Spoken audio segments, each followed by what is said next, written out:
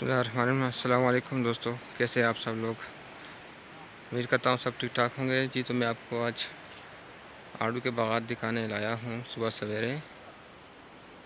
ये देख सकते हैं आप, ये आड़ू के दरख्त हैं यहाँ पे। और ये लोग सारे जो है खेतों में काम कर रहे हैं अपने बागात में। ये सारे आड़ू के बाग है। और आगे चलते देखते हैं, आगे मकई की फ़सल है, सब्जियों के उनमें मैं आपको वो भी दिखा देता हूँ।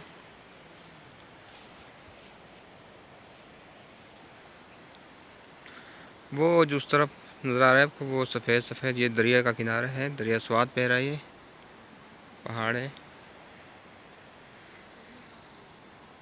बहुत मज़ा आ रहा है मुझे सुबह यहाँ पे चैन ख़त्मी करते हुए। ये देखे आप, ये मकई की फ़सल है। अभी तैयार नहीं हुई फ़सल। ये है मकई। ये गिरी निकली हुई, अभी तैयार नहीं है ठीक तरीके से।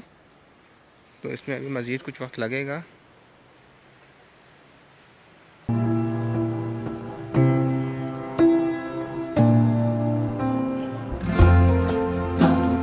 आज मौसम अच्छा है, गर्मी नहीं है। थोड़ी सी थोड़ी थोड़ी सी ठंड भी शुरू हो चुकी है यहाँ पे। ये मेरा कज़न है, चाचे का लड़का है मेरा। इनके हम लोग ठहरे हुए हैं। ये आज मुझे घुमाने के लिए लेकर आए हैं। तो मैं इनके साथ आया हूँ। सुबह मौसम बहुत अच्छा है। और यहाँ का माशाल्लाह आसमान देखिए कितना साफ़ सुथरा है, क्योंकि गर्द आलूद और धूल मट्टी वगैरह यहाँ नहीं उड़ती तो माशाल्लाह बहुत ही आसमान जो है वो ब्लू है, नीला हुआ है। सामने पहाड़ बहुत मज़ेदार लग रहे हैं। और ये देखिए आप